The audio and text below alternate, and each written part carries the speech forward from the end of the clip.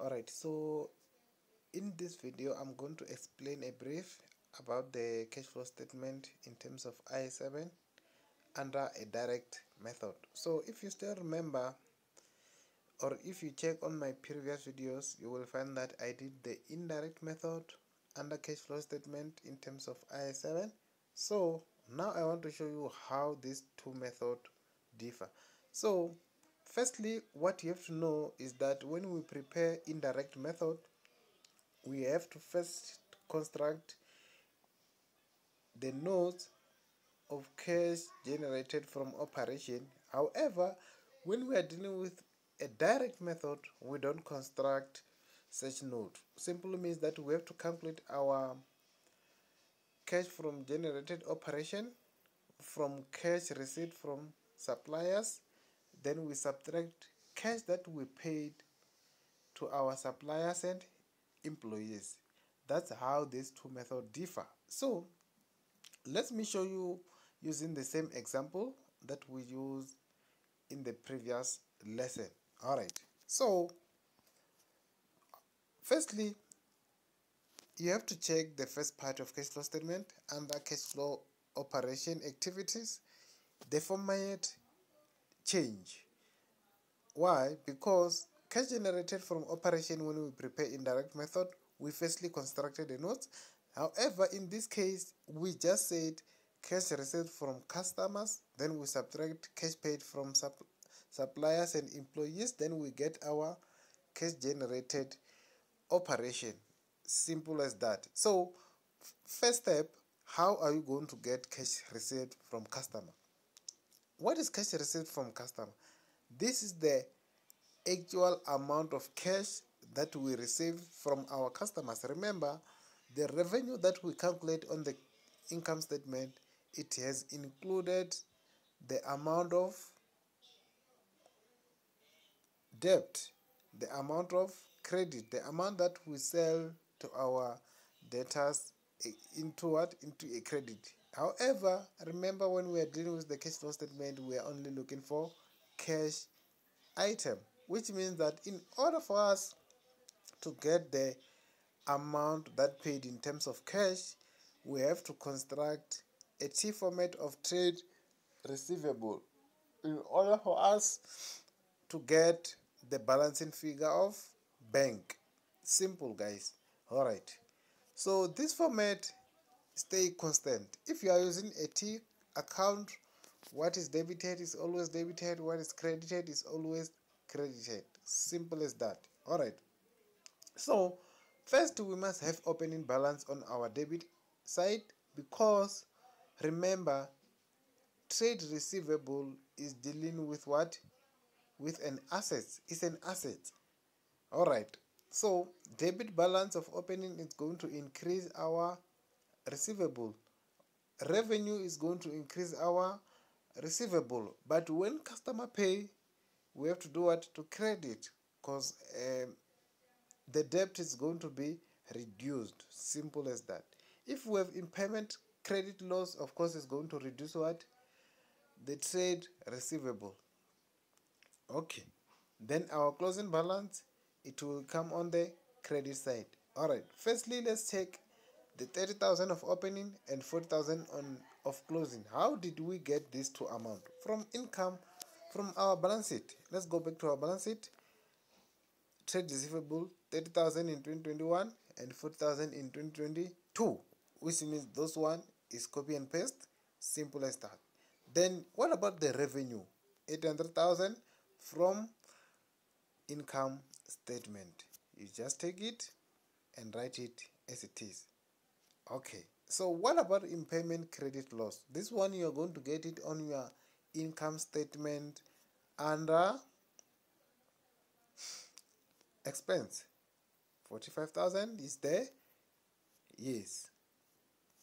Then you record it as it is. Then the balance of the bank is the actual amount that we are looking for for cash receipt from customer which you are going to get it as a what as a balancing figure. You simply have to get total on the debit side, then it will be 830, then you subtract 40,000 and 45,000, then you will get 745,000.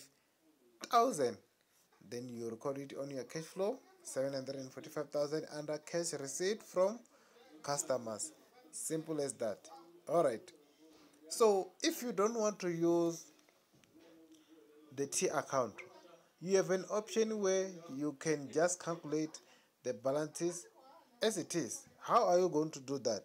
All right very simple. Firstly you have to add everything on the debit side. The balance at the opening you have to add it. You add the revenue then you less the impairment credit loss. Then after that you have to also less the closing balance. Then you will get the same amount of 745,000 simple as that. All right now let's go to how do you get the amount of cash paid to suppliers and employees? All right firstly you have to construct inventory account. Why? Because we have to get the amount of inventory that has been purchased during the year. So that when we go to trade payable account we're gonna put that amount then we get the balance in a figure of a what? Of a bank. Simple. All right. Balance at the beginning you copy it from the balance sheet. Balance at the end you copy it from the balance sheet. 100,000 and 120,000 let's go and check them under inventory. 100,000 and 120,000 there it is. You just copy them as it is. Then let's proceed then cost of sales you just copy it as it is under income statement. All right then you do the balancing figure. Then you will get the amount of 370 as a balancing figure of trade payable. Then this amount we are going with it on what? On trade payable. We are going to credit it because it has increased our liability because trade and payable is liability and is increased on the credit side all right after that the opening balance of 20,000 and closing balance of 10,000. Why in this case of payable we credit the opening balance? Because liability increase on the credit which means the opening balance must go to credit side. Then the closing must come to debit side. Then we do a balancing figure. We will get the amount of 380. This one is cash paid to suppliers. What about to employees? We have to construct another T account of operation, distribution and admi administration expense. Then we will get our employees paid. Alright, this one is very simple. Let's start. What do you debit? What do you credit? Remember, we have prepaid expense and we also have a expense payable. If we are talking about prepaid expense, we are talking about an asset. If we are talking about expense payable, we are talking about liability. Simple means that the opening balance for prepaid expense, which is an asset, it must go to the debit side. The expense payable, which is liability, the opening balance must go to credit. Then the closing will go to debit.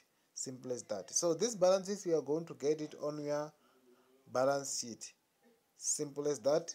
After that, we have to take the other expenses that we spend on our income statement. Let's go and check them. 80,000 other expenses is there. Then we take it and we construct it on our T account. Then after that, we can do the balancing figure of a bank on the debit side. Alright.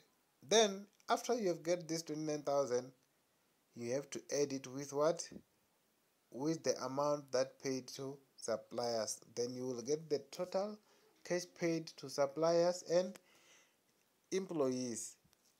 Very simple. Simple as that. So it doesn't matter whether you use direct method or indirect method you are going to get the same amount of cash generated from operation.